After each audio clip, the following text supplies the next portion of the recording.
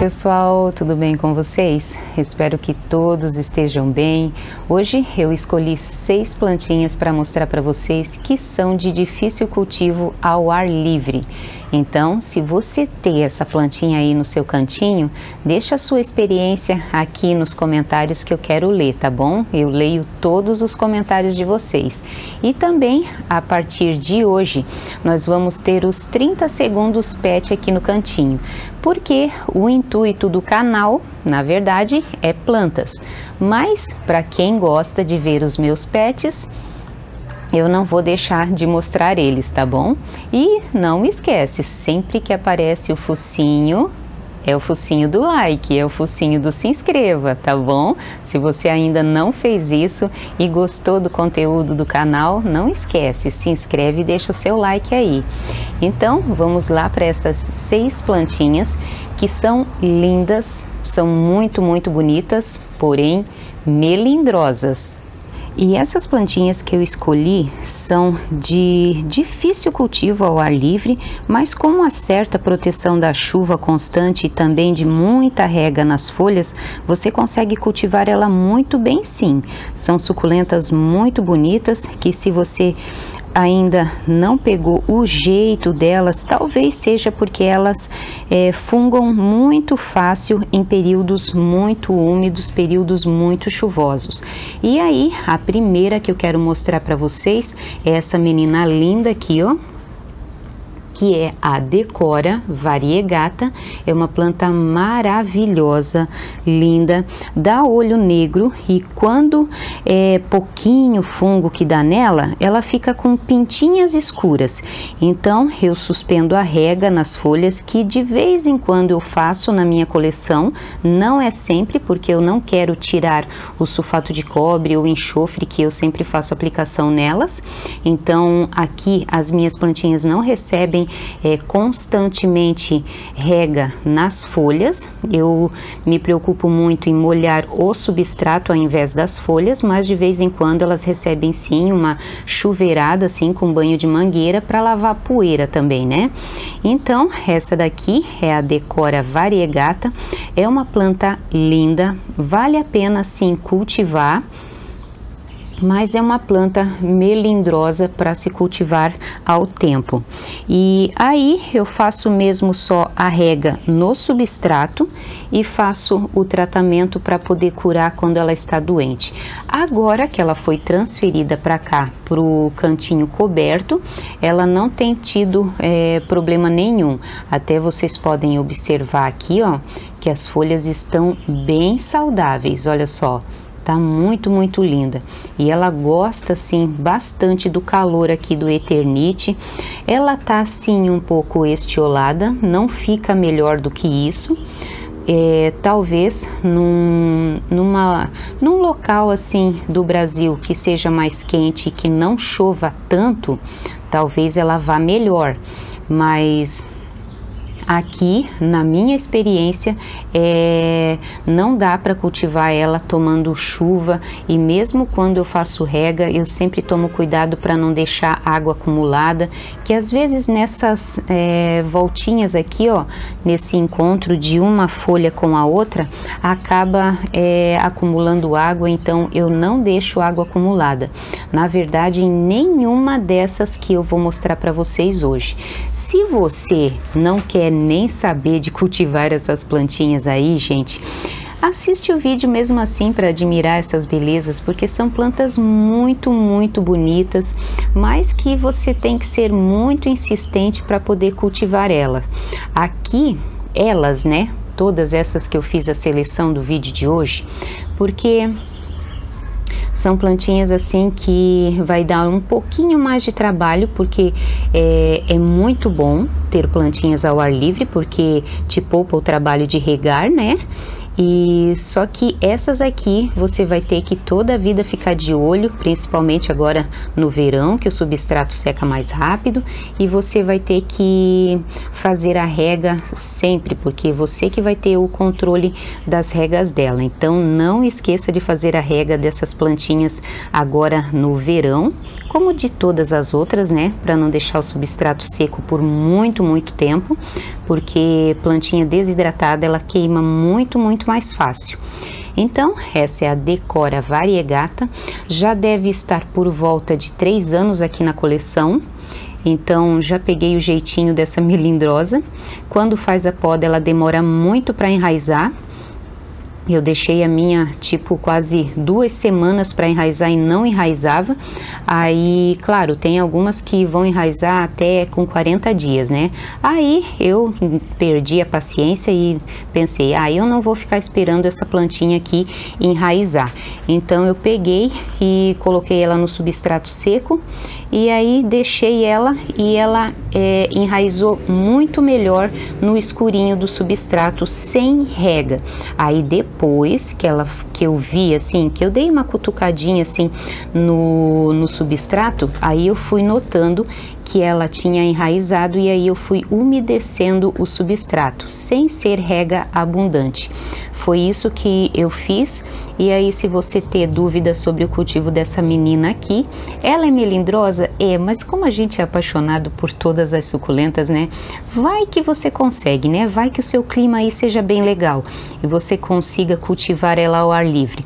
Então, me deixa aí nos comentários que eu quero saber a sua experiência com ela, se você ter essa menina linda aqui.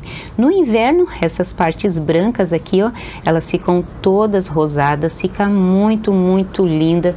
Assim ela já tá linda, né? Olha só, tá vendo que tem umas partes rosadas? Então, muita exposição ao sol para ela, que ela vai amar. E nessa seleção não podia faltar a mais melindrosa de todas, que é a metálica, Echeveria gibiflora metálica. Eu acho essa planta assim um luxo, acho ela linda, linda, linda.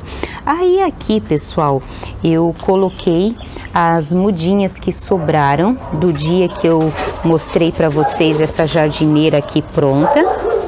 Aí plantei ela nesse vaso pequeno, porque eu quero controlar o tamanho dela mesmo para poupar espaço. As gigantes têm esse problema, né? Ocupam muito, muito, muito espaço na coleção e ela é uma das gigantes que são diferentes das outras gigantes aí, que são hiper mega fáceis de cultivar ao tempo. Essa daqui não, a menos que o seu clima aí não chova tanto quanto aqui, porque aqui chove bastante. Então é uma plantinha que é mais complicada, pelo menos eu nunca consegui cultivar essa menina ao ar livre. Sempre que começa a dar temporadas assim de chuva, independente da época do ano, ela funga, ela dá olho negro, ela acaba formando assim umas um, umas bolas preta aqui que chega até a furar a planta. Então, aqui está a atualização desse vaso menor que foi sobras dessa jardineira aqui. É uma planta muito bonita e com certeza a mais melindrosa de todas. Num clima chuvoso, ela vai dar o olho negro, ama o sol pleno, pode colocar ela no sol pleno que ela fica mara, maravilhosa. E também ela sara só retirando as folhas atingidas e dando sol direto, não precisa ter filtro para ela, pode dar o sol direto. No restante, gente, se você proteger essa plantinha aqui de excesso de água nas folhas e excesso de chuva, olha, você vai ter muito sucesso com as metálicas. No restante, tirando isso, ela é facílima de cultivo. É uma planta que enraiza fácil, que as hastes florais dela tu pode tirar todas as folhas, todas elas nascem. É uma planta muito, muito generosa. Elas estão feinhas assim, ó, porque elas ainda estão é, se recuperando do replante, estão em adaptação ao sol e agora é muito difícil de fazer adaptação ao sol. Mas na parte da manhã, como vocês estão vendo que dá esse solzinho aí, ó, eu já tô colocando elas a sol direto. Então, as minhas aqui, elas só faltam mesmo é, eu aumentar a quantidade de sol para daí dar uma melhorada, fazer umas regas bem abundantes aí, colher água da chuva, que é muito legal. E aí esses centros aqui, ó, elas começam a crescer e ficar bem, bem bonitas. E aqui eu tenho a Echeveria difractens, essa rosinha que se dá muito, muito bem no vaso sozinha e tem de fazer uma cobertura de pedrinhas, porque quando eu rego ela, as folhas de baixo encostam no substrato molhado e mela as folhas uma atrás da outra. Gente, ela é muito, muito melindrosa para se ter ao ar livre. É uma planta assim linda, linda, linda que eu só co consegui cultivar aqui no telhado transparente. Olha só, é uma planta linda, ela se multiplica com muita facilidade, porém a minha aqui, ó, como ela cresceu e ficou mais pescoçuda, agora quando eu faço a rega, ela não encosta as folhas, olha aqui, ó, ela não encosta as folhas no substrato, então ela, ela não mela mais as folhas.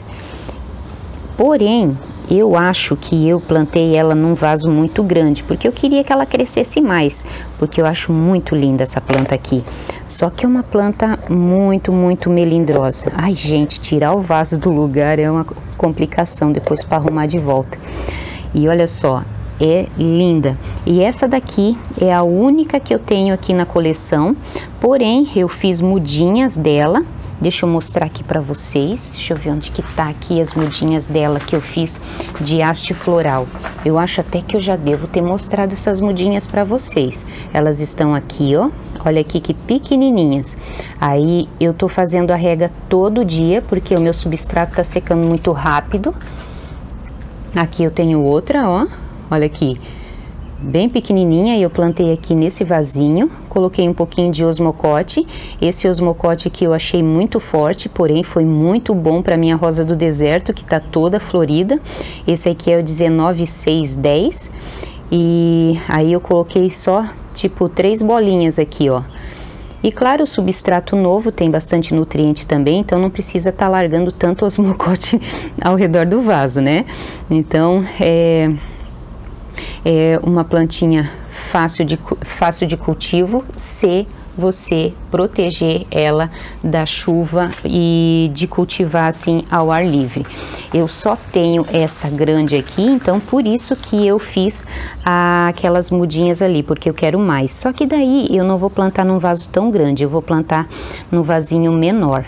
E aqui do lado, gente, eu tenho a híbrida da racemosa que é o mesmo caso da difractens. É, agora que ela está pernuda, as folhas também não encostam no substrato e está bem legal o cultivo dela. Porém, eu já tive mudinha dela ao ar livre e não foi boa a experiência. Deixa eu mostrar para vocês ela aqui. Aí ah, eu tenho uma titubans que tá a coisa mais linda aqui junto, gente. Olha aqui. Olha que bonita que tá, até caiu umas folhas. Olha aqui, ó, a minha racemosa, a racemosa não, híbrida da racemosa, ela tá com um broto aqui, tá com outro broto aqui, ó, tá verde porque não tá tomando sol, mas crescendo ela desenvolve e ganha cor. E olha só como ela tá pernuda. Até eu tava pensando em fazer a poda, mas eu vou esperar mais um pouquinho. Eu vou aproveitar algumas dessas mudinhas aqui para plantar em vasinho pequeno, como aquela ali que eu fiz da, da Difractens. Olha aqui, aqui tá começando a dar é, haste floral, nunca deu muda, é, desse jeito aqui. Sempre quando ela vai desenvolvendo, ela acaba dando é, haste floral e não muda. Deixa eu colocar ela aqui de volta no lugar. Opa! É fácil de reproduzir ela. Como vocês podem ver, eu consegui fazer várias mudinhas aqui no próprio vaso, ó. Tudo da, das folhinhas da haste floral. Olha aqui, ó. Aí eu tenho que tirar Vou colocar em outro vasinho.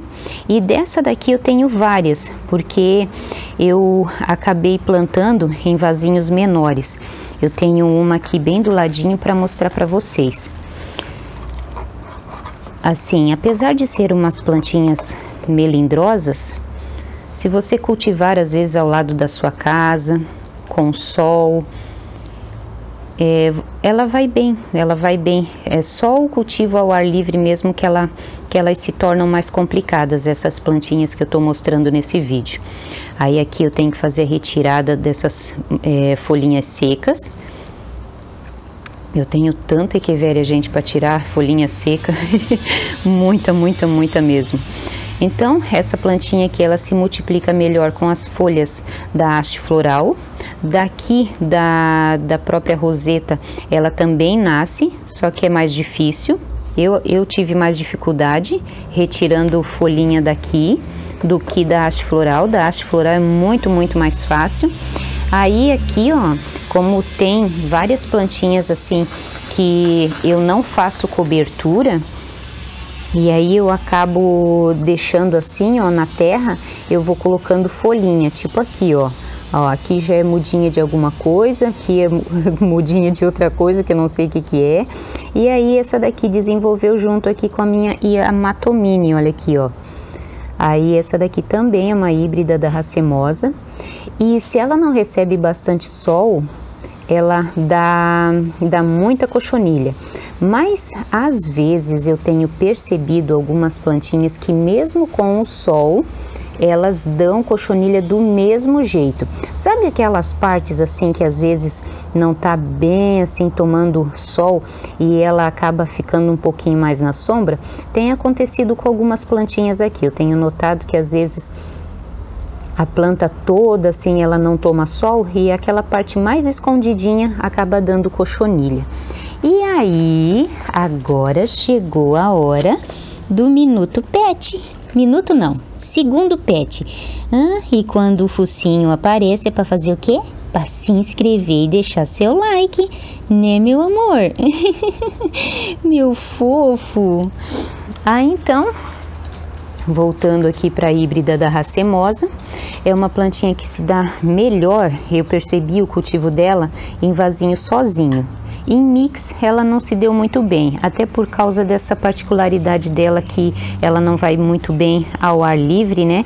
E às vezes tem plantinhas que nos mix, é, algumas precisam de mais rega, algumas, outras não.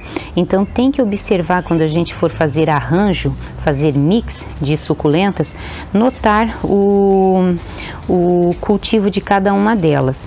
Por exemplo, misturar agavoides, é, que são plantinhas plantinhas assim mais gordinhas, com algumas com folhas mais finas, é, eu acho que não dá muito certo. Então tem que observar aí qual é a, as plantinhas que você tem para poder fazer a, a mistureba aí, que fica muito legal, né? Nossa, tem mix assim que fica lindo, lindo, lindo, maravilhoso.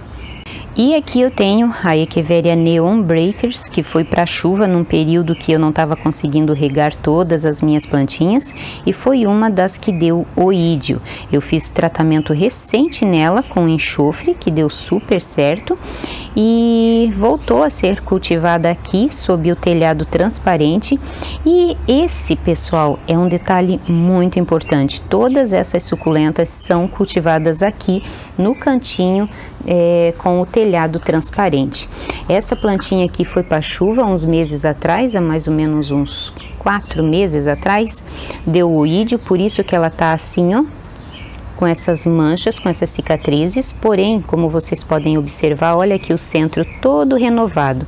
Tratamento eu fiz com enxofre e mais exposição ao sol e resolveu o problema dela. É uma planta muito, muito linda e se eu não me engano, ela, ela é um tipo de chaviana.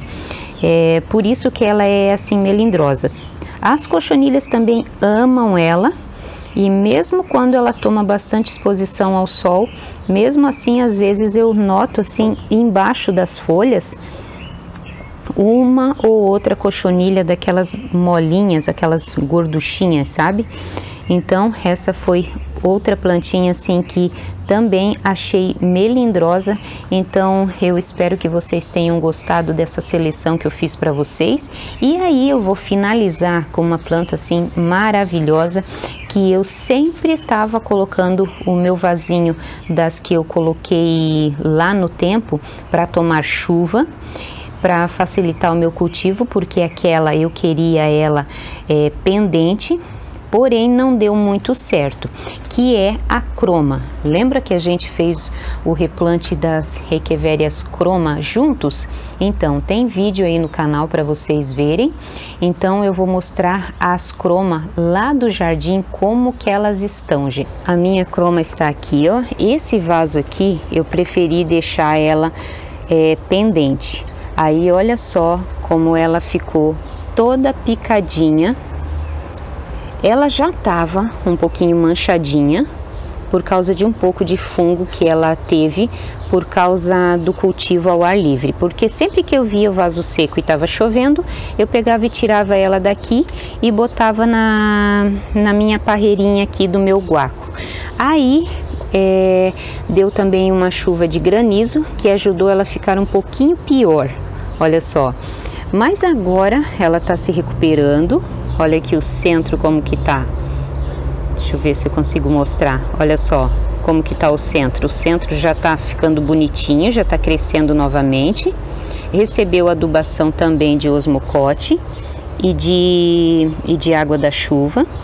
Então, essa daqui eu achei que não foi muito legal o cultivo dela tomando chuva direto, porque eu peguei mesmo assim, teve uma semana aí que choveu bastante e aí eu peguei e deixei ela um tempão assim na chuva. Mas é bom, é bom ir testando, né? Porque assim a gente vê até onde a planta pode ir, né? aí eu quero fazer umas mudas e colocar aqui, ó. Eu até futuramente vou mostrar para vocês como que está os caules que sobraram dela que estão muito fofinhos, gente, mas eu tô deixando elas crescerem, aquelas mudinhas, para daí mostrar para vocês. Tá muito, muito linda. Então eu preferi deixar as minhas cromas, aquele vaso que eu mostrei para vocês lá no cantinho coberto, daquela forma, no efeito compacto, e aqui eu preferi deixar assim, ó, no efeito pendente. Eu gosto dos dois jeitos, eu amo as minhas plantinhas de qualquer jeito, tanto pendente quanto compacta, mas as, no, no modo compacto eu acho que elas poupam mais espaço. Então, como tinha esse vasinho aqui, pendurei aqui na grade da minha casa e ela gostou. Porém, tomou um pouquinho, teve um pouquinho de fungo e também uma chuvinha de granizo. Nada demais. então é isso, pessoal. Vou mostrar agora o restante dos 30 segundos de pet aqui para vocês. Finalizar com essa flor muito linda aqui, que eu não sei se é Gilva essa essa menina aqui, ó. Acho que fantome não é. Nunca consegui a identificação dessa planta aqui certinha. E aí, é, espero que vocês tenham gostado. Se você é, tem experiência com uma dessas plantinhas aí, me fala também como que é o clima da sua cidade, porque é muito, muito importante a gente saber como que é o clima da cidade, né? Ah, então, eu vou finalizar com alguém aqui, ó, que tá dormindo no solzinho, muito legal, né, Maquis? E vou finalizar com você, né? Já que eu não tinha te mostrado. Um abração muito especial para todos vocês. Fiquem todos com Deus e até o próximo vídeo, se assim Deus permitir. Tchau, tchau.